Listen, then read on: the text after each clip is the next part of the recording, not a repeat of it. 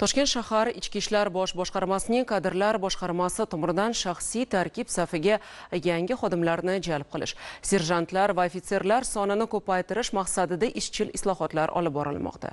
Xususan ichki ishlar organlari tarkibida xizmat qilmoqchi bo'lgan yosh o'g'il qizlar uchun yangi imkoniyatlar yaratilmoqda. Unga ko'ra tanlov asosida o'tkaziladigan maxsus musobaqalarda nomzodlar muvaffaqiyatli ishtirok etishlari talab etiladi.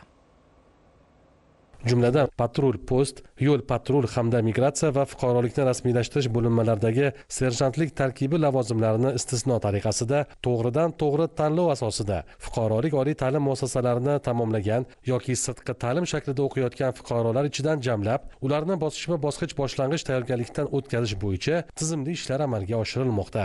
Shu munosabat bilan joriy yilning o'tgan to'qqiz oyi mobaynida oliy ma'lumotga ega bo'lgan yoki sirtqi ta'lim shaklida tahsil olayotgan fuqarolarni ichki ishlar organlariga qabul qilish bo'yicha uch marotaba tanlovlar e'lon qilinib xizmatga kirish istagini bildirgan jami uch ming olti yuz o'ttiz yetti nafar fuqaro nomzod sifatida murojaat qilgan. Shundan bir ming yetti yuz yigirma uch nafari dastlabki sinovlardan muvaffaqiyatli o'tgan. Hozir e, uchta bosqichdan o'tdim psixologik testdan o'tdim keyin jismoniy e, tayyorgarlikdan o'tdim keyin medosmotrdan o'tdim.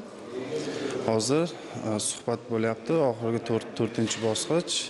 Shu to'rtinchi bosqichdan ham o'tsam shu xudo xohlasa endi e, yurtimga vatanimga xizmat qilaman. Shu bilan bir qatorda sinovlardan muvaffaqiyatli o'tib hujjatlarni belgilangan tartibda to'liq rasmiylashtirilgan nomzodlarni yakuniy tanlovda ishtirok etishi belgilanib tanlovda shaffoflikni ta'minlash hamda nomzod va ularning ota onalarini qiziqtirgan savollarga javob berish maqsadida poytaxtning bunyodkor stadionida ichki ishlar vazirining o'rinbosari ishtirokida uchrashuv o'tkazilib ularni qiziqtirgan barcha savollarga javob berildi va yakuniy tanlov yuzasidan tushuntirish ishlari olib borildi.